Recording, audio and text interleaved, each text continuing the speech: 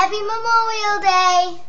Today's Memorial Day, and this episode of Each Day and Sometimes K, telling you how I celebrated my Memorial Day. We're going to make a website, and you can go to the Tell Us Your Stuff page and tell us how you celebrated your Memorial Day. So, this is how it started. Last night, well, yeah, last night, I had a camp out with my next door neighbors. And, um, it was the D, I mean, um, Ryan up the street, Katie and Pat next door, and my, my brothers and sisters. So we had lots of fun. And it was fun. We stayed up late and we had pancakes. So, and then this morning, I went to the pool in Chappaqua, although I live in Mount Kisco. Um, so, and then, ooh, I went to my grandma's for a birthday. Uh, on Saturday, got a pedicure.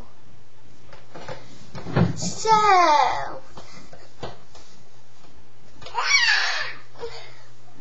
okay, oh, Okay, so I went to the pool.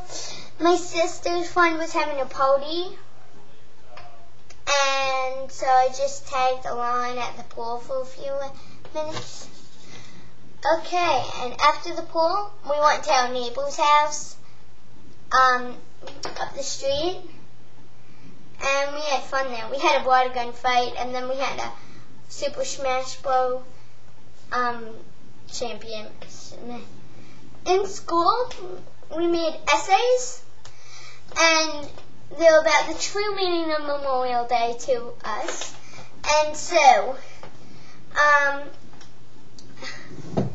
uh, if we win the essay contest, we get to read our essay at the Memorial Day parade on June, I mean May 30th. Okay. Now Memorial Day is not about just um, having summer fun or having barbecues. It's mainly about what soldiers did and how they died fighting for our freedom. We will have now a moment of silence for them.